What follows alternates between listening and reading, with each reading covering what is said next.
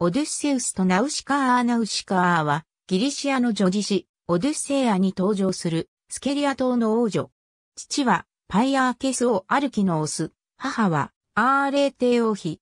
ホメーロス作、オデュッセイアにおいて、主人公オデュッセウスは、トロイア戦争からの帰と、幾多の苦難の果てに、故郷イタケに帰り着く。その直前に立ち寄った島が、ナウシカーの住む、スケリア島である。スケリア島は、現在のケルキラ島であると言われる。一つ目巨人ポリペーモスから逃れたオデュッセウスだったが、ポリペーモスの父ポセイドンの怒りに触れ、乗っていたイカダは嵐に吹き飛ばされてしまう。